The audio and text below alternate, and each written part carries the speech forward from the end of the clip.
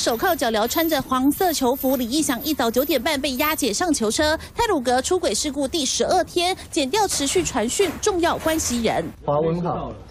对，律师到了。业务律师急急忙忙赶到地检署，李义祥所雇佣的黑工阿好也被从看守所带出来。为了厘清泰鲁格出轨真相，花莲地检署借提李义祥以及越南移工阿好比对相关证词，关键证物吊带也曝光。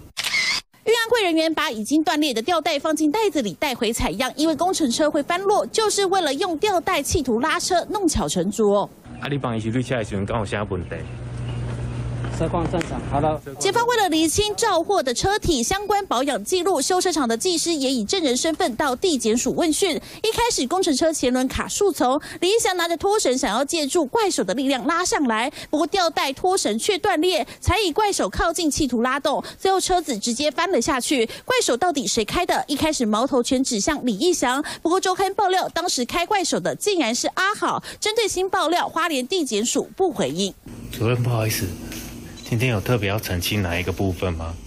还是没有办法多说？联合大地监造主任李进福九号被依过失致死罪五十万元交保，十二号二度遭到约谈，减掉约谈动作一波接一波，就是希望尽快还原四十九死真正原因。三新闻李燕许惠美花莲报道。